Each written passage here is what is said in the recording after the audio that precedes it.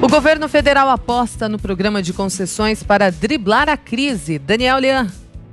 Na tentativa de trazer investimentos estrangeiros, o ministro da Infraestrutura, Tarciso Freitas, destaca que serão realizados mais de 100 leilões somente em sua pasta até o final do mandato do governo do presidente da República, Jair Bolsonaro.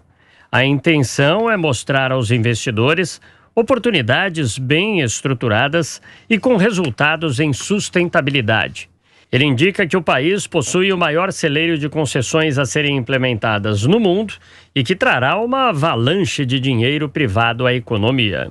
Nós temos o maior programa de concessão do mundo, algo sem precedente. E esse programa de concessão vai trazer uma avalanche de dinheiro privado para a nossa economia e vai transformar a nossa infraestrutura nos próximos anos. A gente está falando de uma verdadeira revolução em termos de infraestrutura.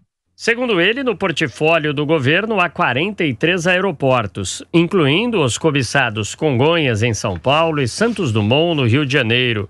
Também constam na lista o ferrogrão, a desestatização do setor portuário, além de rodovias e ferrovias que serão construídas a partir do processo de renovação de concessões.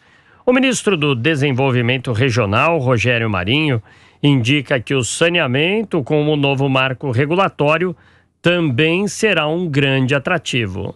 Esse marco nos traz aí, nos descortina, nos abre aí um potencial extraordinário. E todos os esforços que o governo vem fazendo é de performar as carteiras, torná-las é, atrativas e certificadas para que o investidor se sinta confortável, sabendo que o seu investimento terá um retorno ao longo dos, dos, dos anos com segurança jurídica e previsibilidade.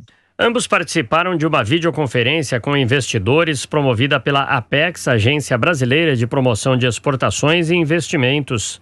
Os ministros enfatizaram que o Brasil desperta interesse dos players do mercado porque tem um histórico de cumprir seus contratos e acrescentam que, mesmo com a pandemia, tudo o que foi acordado anteriormente está sendo honrado.